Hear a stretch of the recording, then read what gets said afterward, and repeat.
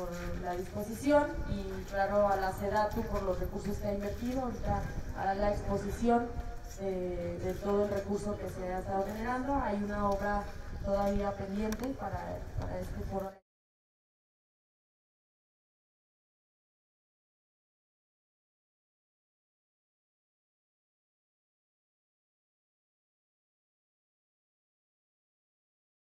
Pero aparte de lo que ya está aquí, vamos a adicionar algunas otras cosas porque bueno, estamos rescatando todo el área, el área del cerro, para convertirla automáticamente parte del mismo foro y hacer todavía mucho más atractivo la estancia de quienes estén en este lugar y adicionarle áreas deportivas mucho más para que esto se complemente como un, un espacio y un complejo deportivo digno de, del municipio de Rincón de Romos.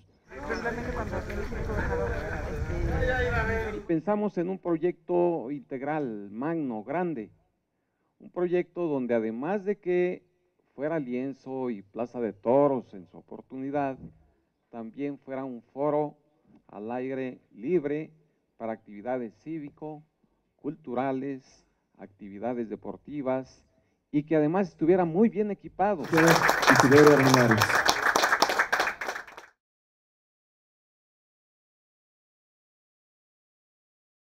Los proyectos.